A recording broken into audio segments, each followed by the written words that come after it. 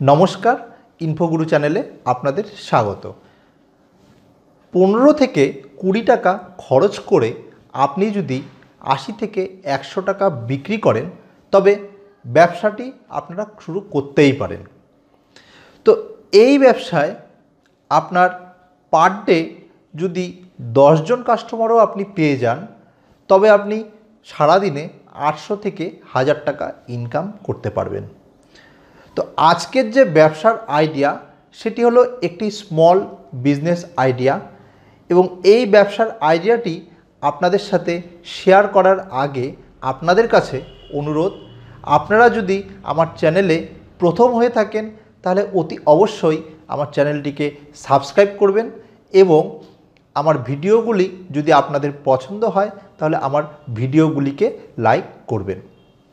তো চলুন বন্ধুরা, আমরা জেনে নেই আজকের স্মল বিজনেস আইডিয়া তো বন্ধুরা, এই ব্যবসার ক্ষেত্রে আপনার কাছে যদি একটি জায়গা থাকে বা দোকান ভাড়া নিয়ে এই ব্যবসা শুরু করতে পারেন, তবে আপনার ইনকামের পরিমাণটা অনেকটা।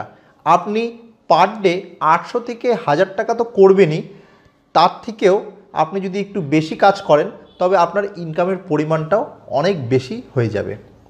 যদিও ব্যবসাটা ছোট অনেকে হাসতে পারে, অনেকে ভাবতে পারে যে এরকম ধরনের ব্যবসা হয় নাকি। হ্যাঁ বন্ধুরা, এরকম টাইপেরই ব্যবসাতে ইনকামের পরিমাণ অনেক বেশি।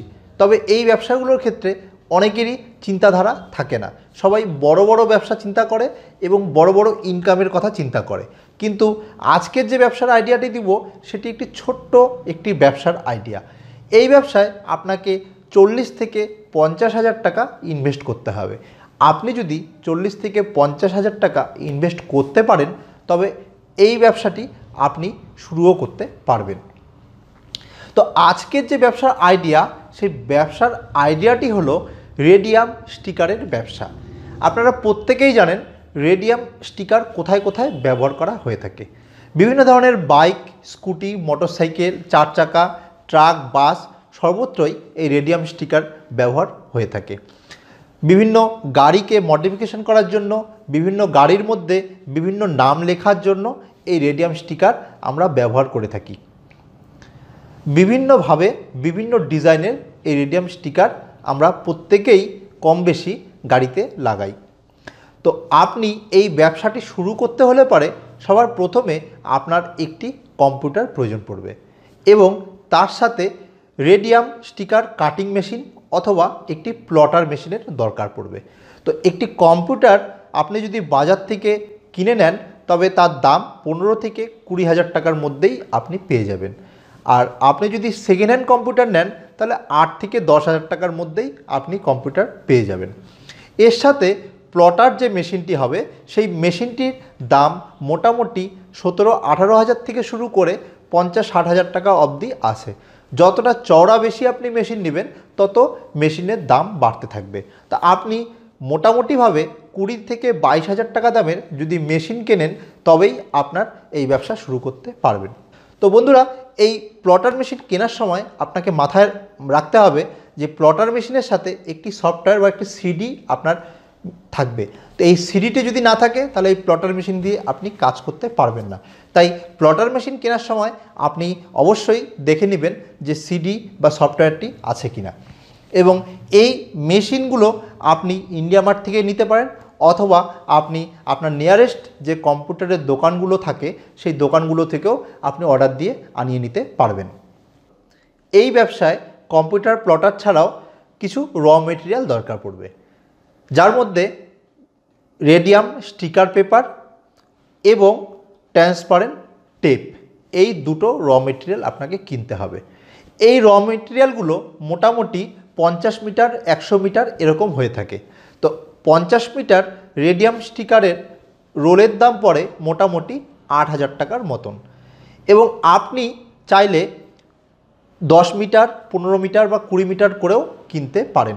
কারণ আপনি জানেন না যে কোন কাস্টমার কোন কালারের স্টিকার তৈরি করবে।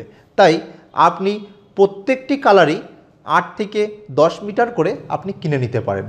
অর্থাৎ আপনার এক এক মিটারের দাম একশো পঞ্চাশ থেকে একশো ষাট টাকার মতন পড়বে।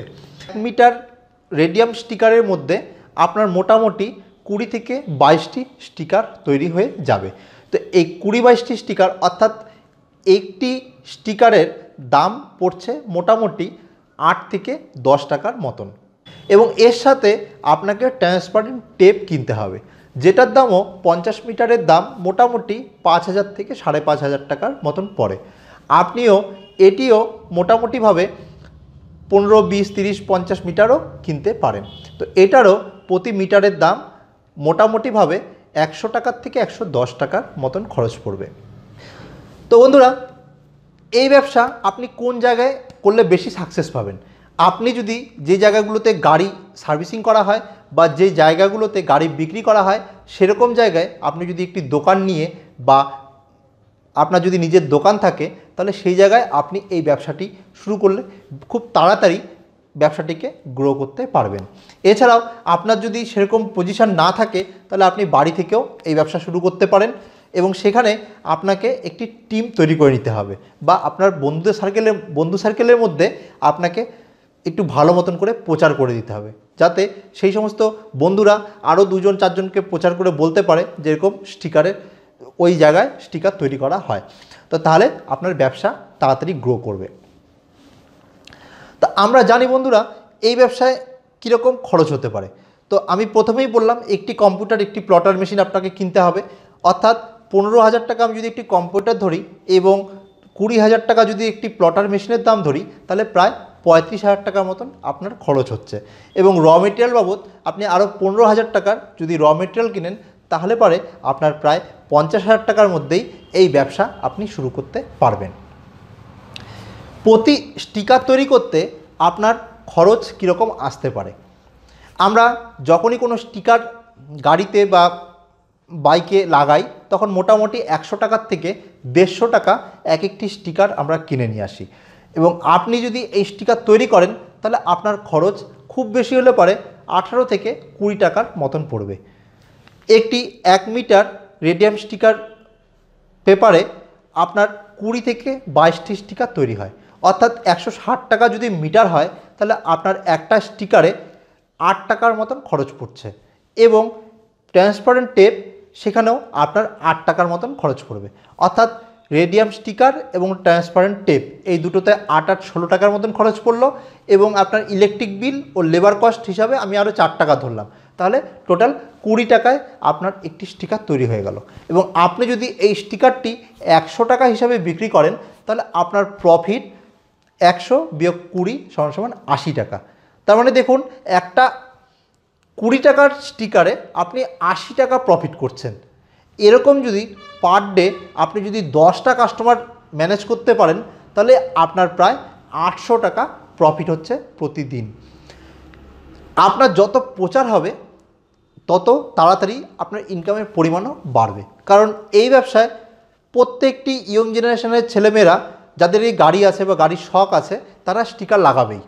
কম বেশি প্রত্যেকেই স্টিকার গাড়ির মধ্যে ইউজ করে। তাই আপনি যদি সেই জায়গায় কাস্টমার ধরতে পারেন, দেখা গেল পার ডে আপনি কুড়ি জন কাস্টমার পেয়েছেন, তাহলে আপনার ষোলোশো টাকা আপনার ইনকাম হবে।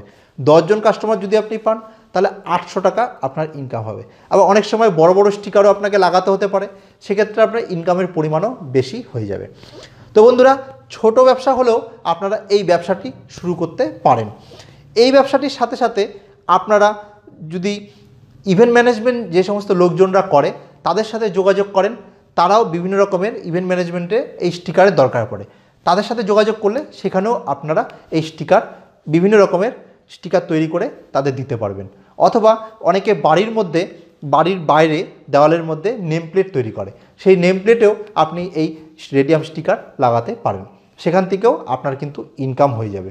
এছাড়াও আপনারা বিভিন্ন যেখানে গাড়ি সাজায় বা গাড়ি বিক্রি করে বা গাড়ি ঠিক করে, তাদের সাথেও যদি যোগাযোগ করেন তাহলে সেই জায়গাগুলোর থেকেও আপনার কিন্তু কিছু কাস্টমার আপনি পেয়ে যাবেন।